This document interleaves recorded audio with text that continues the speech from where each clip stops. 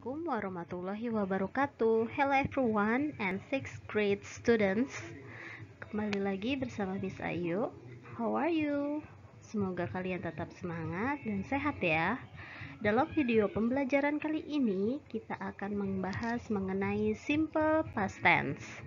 Sebenarnya simple past tense ini sudah pernah kalian pelajari waktu di kelas 5 Nah kita akan mereviewnya kembali dan untuk simple past ini materinya ada di buku LKS kalian halaman 2. Silakan dibuka. Di sini ada yang tahu tidak apa itu simple past tense? Atau digunakan dalam kalimat apa simple past tense ini?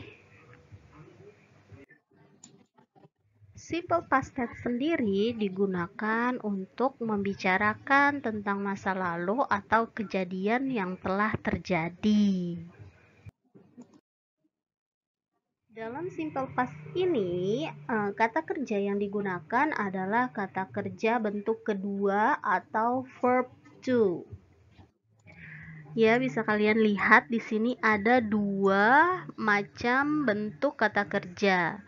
Yang pertama adalah regular verb atau kata kerja beraturan yang ditambahkan ed di belakang kata. For example,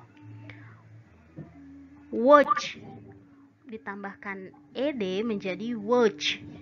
Lalu ada visit menjadi visited Nah, yang kedua di sini ada irregular verb atau kata kerja yang tidak beraturan dan katanya berubah.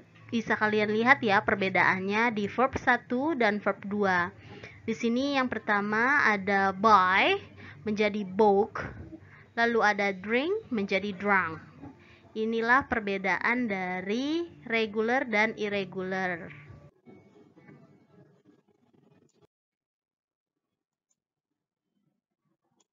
Lalu uh, di sini ada sedikit contoh dari kosakata regular dan irregular verb. Bisa kalian lihat sendiri ya pada contoh ini perbedaan dari regular dan irregular. Verb 1 dan verb 2 jelas ada perbedaan. Oke, kita lanjut slide berikutnya.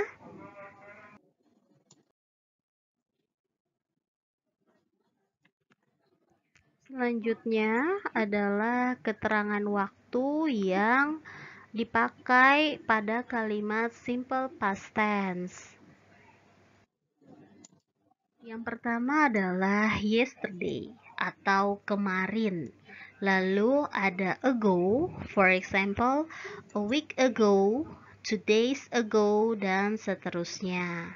Lalu ada juga last, last week, last month, last year, last night. Nah, ini adalah keterangan waktu yang bisa kalian pakai untuk membuat kalimat simple past tense.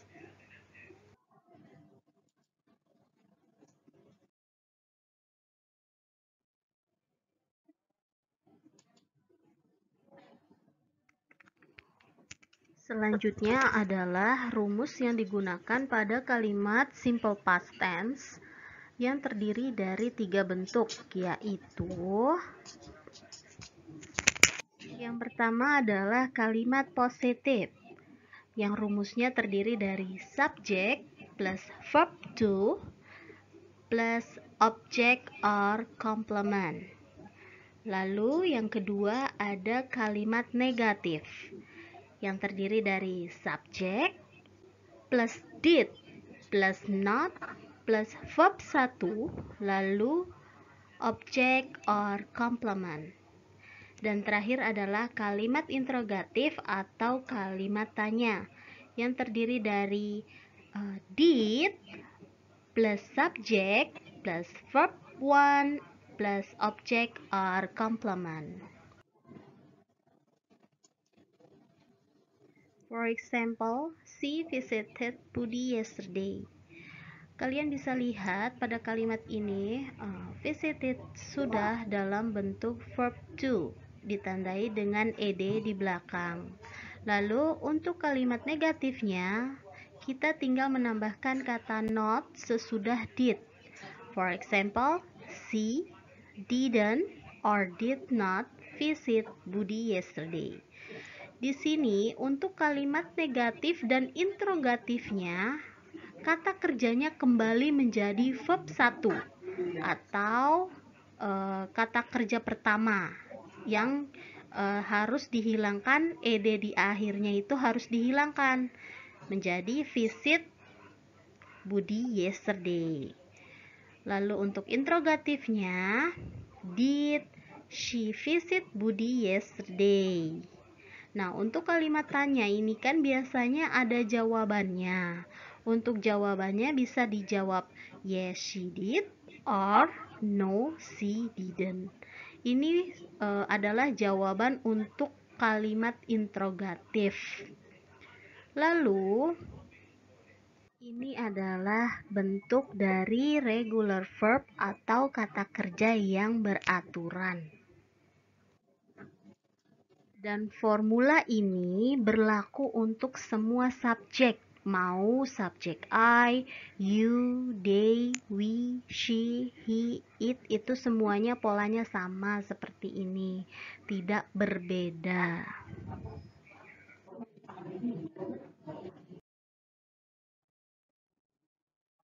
Nah, kalau yang tadi adalah contoh dari regular verb, yang ini adalah contoh kalimat yang menggunakan irregular verb atau kata kerja tidak beraturan. For example, I ate pizza an hour ago. Nah, di sini adalah verb 2-nya itu adalah kata ate. Ini verb 2 dari kata it. Nah, berarti kalau uh, kata pertamanya it, maka kalimat negatifnya jadi I didn't or did not eat pizza an hour ago. Lalu kalimat interrogatifnya did I eat pizza an hour ago? Lalu jawabannya yes I did or no I didn't.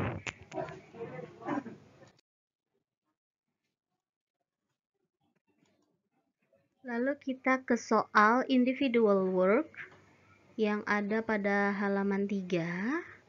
Part A, tentukan subject and verb dari kalimat-kalimat di bawah ini. Number one, they did not take train to go to Jogja. Nah, menurut kalian subjeknya apa? Ya, betul, they. Subjeknya adalah they.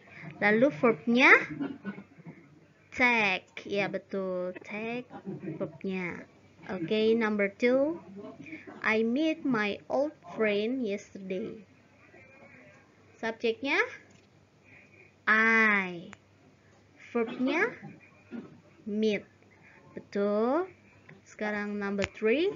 We went to cinema last night. Subjeknya? We. Verbnya when. Yes correct. Number four did he drink the milk last night? Subjeknya he. Verbnya drink. Oke okay, selanjutnya number five. My sister did not wash the dishes. Subjeknya my sister verbnya wash Yes, correct. Kalian tulis jawabannya di LKS kalian masing-masing ya, Nak ya.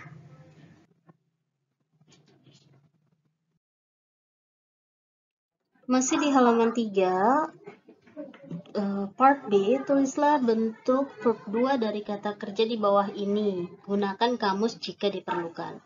Oke, okay, uh, number one, go menjadi when, eat menjadi ate, drink menjadi drunk, study menjadi studied, bring menjadi broke, take menjadi took, forget menjadi forgot.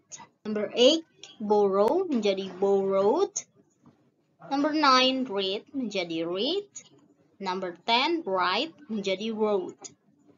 Lalu part C, tulislah bentuk negatif dan interrogatif dari kalimat-kalimat berikut. For number 1, she wore a nice dress yesterday. Kalimat negatifnya, she didn't wear a nice dress yesterday. Lalu untuk interrogatifnya, did she wear a nice dress yesterday? Number two, I wrote a letter for my teacher. Negatifnya, I didn't write a letter for my teacher. Untuk kalimat interrogatifnya, did I write a letter for my teacher? Nah, kira-kira dari ini semua uh, sudah paham belum, nak?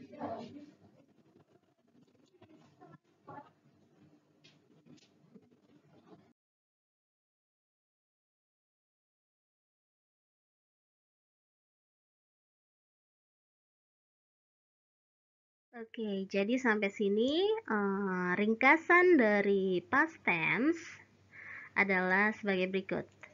Past tense menggunakan kata kerja bentuk kedua atau verb to.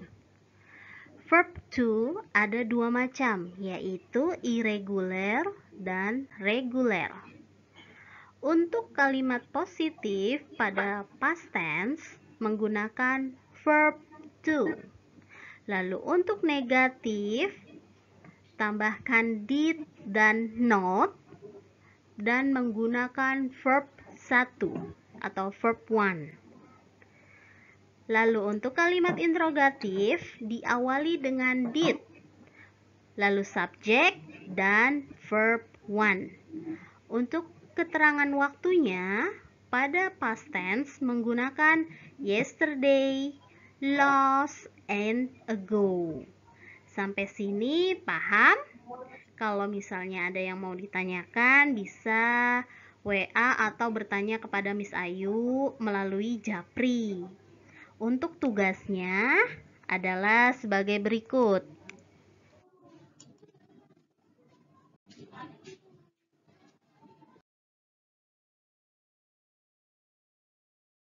Silakan kalian lanjutkan mengerjakan LKS-nya dari halaman 4 sampai dengan halaman 7. Lalu nanti bila ada yang ingin ditanyakan, kalian bisa japri Miss Ayu melalui WA. Oke, okay? uh, I think this is enough and don't forget to submit your assignment in my school application. Thank you for today. Wassalamualaikum warahmatullahi wabarakatuh.